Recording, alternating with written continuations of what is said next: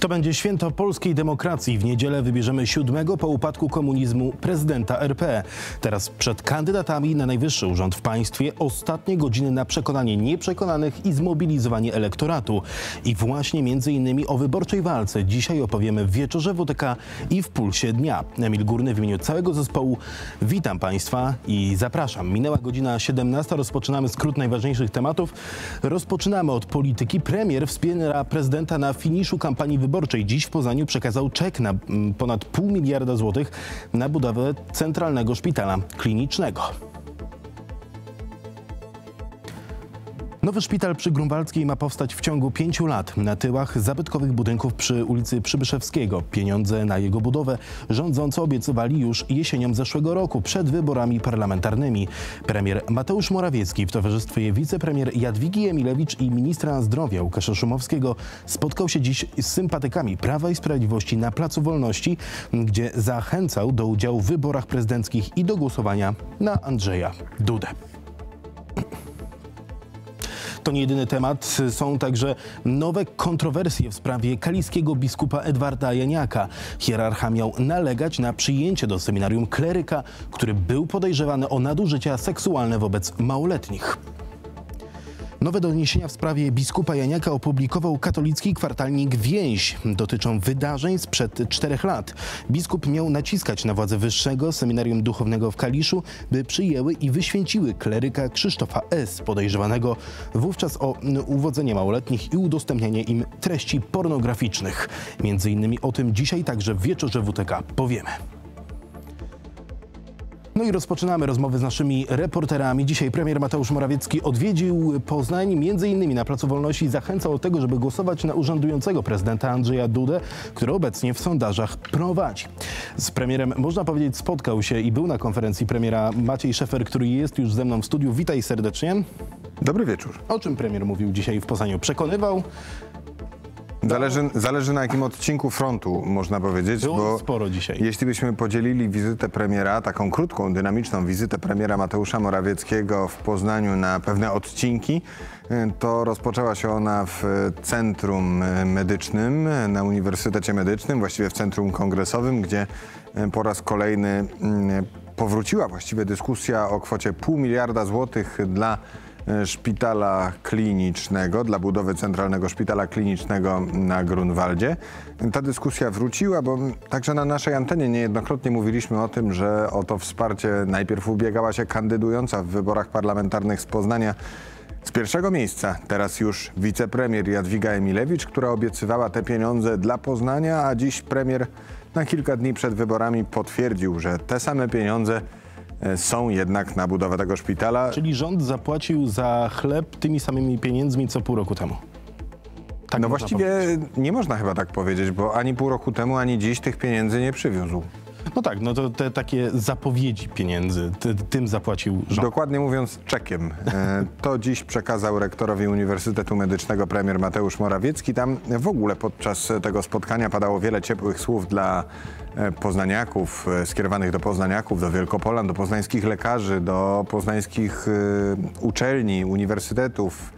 E, Bardzo było to miłe spotkanie i też bardzo dynamiczne, bo błyskawicznie premier e, przeniósł się potem, a właściwie przejechał na budowę hospicjum dla dorosłych przy ulicy Bednarskiej. Tam także obiecywał pieniądze na dokończenie tejże budowy i to chyba są te ważne informacje, e, o których warto wspomnieć. Tam także Niektórzy dziennikarze zdążyli.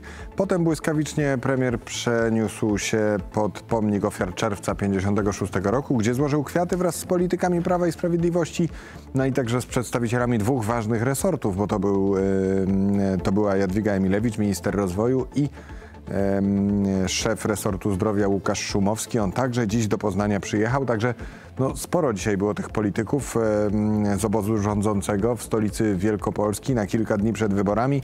Ostatecznie wszyscy oni pojawili się około godziny 14 na Placu Wolności, gdzie odbył się wiec poparcia dla ubiegającego się o reelekcję prezydenta Andrzeja Dudy.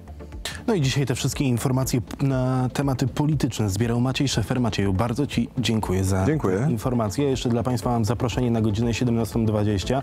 O ostatniej prostej w wyścigu na prezydenturę porozmawiam z Państwa i moim gościem. Będzie to profesor Magdalena Musiałkarek, politolog z Uniwersytetu imienia Adama Mickiewicza. To już ostatni dzwonek na dopisanie się do spisu wyborców. To ważna informacja dla tych, którzy w nadchodzących wyborach prezydenckich chcą zagłosować poza miejscem zameldowania.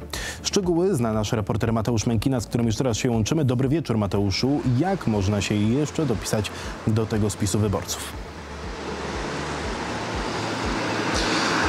Dobry wieczór. Dla tych wszystkich z Państwa, którzy chcą dopisać się do spisu wyborców, pozostała już tylko jedna możliwość, czyli dopisanie się do spisu e, wyborców online przez internet. A można to zrobić przez profil zaufany, także przez profil e-Pułap, czy też przez dostęp do bankowości elektronicznej. Zakładamy wtedy taki profil zaufany i wtedy tam już e, wyklikamy w odpowiednią zakładkę. Ta zakładka brzmi wybory. Tam można dopisać się do spisu wyborców. Takie wnioski oczywiście wypełnione przez nas elektronicznie są przyjmowane jeszcze do godziny 23.59. Ta druga opcja już ten termin minął właściwie, bo dopisanie się do spisu wyborców osobiście, czyli w urzędzie mm, jest już niemożliwe. Urzędy są zamknięte od, do, od godziny 15.30, więc tylko online jeszcze pozostaje e, ta możliwość. E, ważna też informacja dla tych z Państwa, którzy dopisywali się do spisu wyborców e, wcześniej przed planowanymi wyborami majowymi. Teraz trzeba zrobić to niestety ponownie. Mm, także e, ważna informacja jeżeli chodzi o ewentualną drugę, drugą turę wyborów, jeżeli nie zdążymy dopisać się do spisu wyborców przed tą pierwszą turą wyborów czerwcowych, czyli 28 czerwca, to jest jeszcze możliwość dopisania się do spisu przed y, drugą turą wyborów, dokładnie do 7 lipca, jak y, donosi y, oficjalna strona Urzędu Miasta Poznania. W tym roku mamy rekord, bo już 24 tysiące osób dopisało się do spisu wyborców w Poznaniu. To oznacza, że wszyscy ci z Państwa, którzy nie są zameldowani w Poznaniu, a tak także nie mają tutaj stałego miejsca zamieszkania, mogą oddać głos właśnie w tych najbliższych wyborach prezydenckich, bo każdorazowo do każdych wyborów, jeżeli nie jesteśmy tutaj zameldowani, nie mieszkamy na stałe, trzeba się tutaj dopisać. Mękina zbierał dla Państwa te wszystkie informacje. Mateuszu, bardzo Ci serdecznie dziękuję. Tymczasem są nowe kontrowersje w sprawie kaliskiego biskupa Edwarda Janiaka. Hierarcha miał nalegać na przyjęcie do seminarium kleryka, który był podejrzewany o nadużycie seksualne wobec małoletnich. Tematem dzisiaj zajmuje się Piotr Kotwicki. Dobry wieczór Piotrze. Dobry wieczór. O co chodzi w tych nowych odkryciach e, prasowych a propos właśnie biskupa Edwarda Janiaka? No rzeczywiście tutaj sprawa jest e, całkiem skomplikowana, bo dotyczy wydarzeń sprzed e, czterech e, lat. Do Wyższego Seminarium Duchownego w Kaliszu miał trafić kleryk właśnie z polecenia księdza biskupa Janiaka. No tylko, że właśnie po pewnym, po jego pobycie w seminarium okazało się, że jest on podejrzewany właśnie o uwodzenie osób małoletnich, tylko, że właśnie jak podaje kwartalnik Więź, biskup Janiak miał o tych oskarżeniach wiedzieć jeszcze zanim polecał właśnie go do przyjęcia do tego seminarium duchownego. Ostatecznie ten kleryk e, księdzem nie został, został z seminarium e, wydalony po tym jak na jaw wyszło, że, że prowadzone jest kolejne śledztwo właśnie o podobne zarzuty, o kontakty seksualne z osobami e, małoletnimi. Natomiast no, to jest tylko jakby przyczynek do większej dyskusji, do, do kolejnych otwierających się problemów, bo rektor Wyższego Seminarium Duchownego ówczesny rektor e, miał być ofiarą mobbingu ze strony księdza Janiaka, po tym jak rektor naciskał, żeby e, tego kleryka z seminarium e, usunąć, a z takimi decyzjami miał się nie zgadzać biskup Janiak. O, tą, o komentarz tej sprawie poprosiliśmy także dzisiaj kaliską kurię. Takiego komentarza dzisiaj się nam uzyskać nie udało, no ale to znowu tylko pierwsze doniesienie dzisiaj, jeżeli chodzi o biskupa Janiaka, bo po, ukazała się dzisiaj również publikacja Gazety Wyborczej, że na początku czerwca hierarcha trafił e, do szpitala pod wpływem alkoholu. Miał mieć we krwi ponad 3 promile e, alkoholu, więc no, tych kontrowersji wokół e, biskupa Janiaka rzeczywiście jest bardzo wiele. No, a przypomnę, jest to negatywny bohater także filmu Braci Sekielskich Zabawa wchowanego. Autorzy tego filmu oskarżają go, że biskup Janiak miał tuszować przypadki pedofilii wśród księży diecezji kaliskiej. Sprawa skomplikowana, ale po, y, postara się wyjaśnić ją dzisiaj Piotr Kotwicki. Dziękuję bardzo serdecznie Dziękuję bardzo. Piotrze. A propos właśnie biskupa Janiaka, także będziemy jeszcze rozmawiać w wieczorze WTK, ale także w programie Otwarta Antena. Biskup Janiak chronił nie tylko księdza pedofila. Gośćmi będą Zbigniew Nosowski, redaktor naczelny kwartalnika Więź, publicysta katolicki, który sprawę, najnowszą e, sprawę a propos właśnie biskupa Janiaka opisał.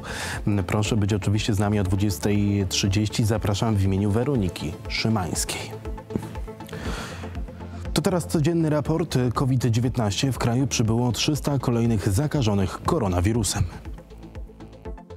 Najwięcej nowych przypadków pojawiło się na Śląsku. W Wielkopolsce testy potwierdziły koronawirusa u 27 osób. 18 osób to mieszkańcy powiatu kępińskiego. 7 pochodzi z powiatu kaliskiego, natomiast dwie z powiatu ostrowskiego. Większość przebywa w izolacji domowej. Trójkę starszych mieszkańców powiatu kaliskiego trzeba było przetransportować do szpitali. W Wielkopolsce do tej pory odnotowano 2501 przypadków zakażeń koronawirusem, w tym 170 osób zmarło, na 1821 wyzdrowiało. To wszystko na razie wieczorze WTK. Proszę jednak z nami pozostać. Już za chwilę o polityce będziemy rozmawiać na naszej antenie. Do zobaczenia.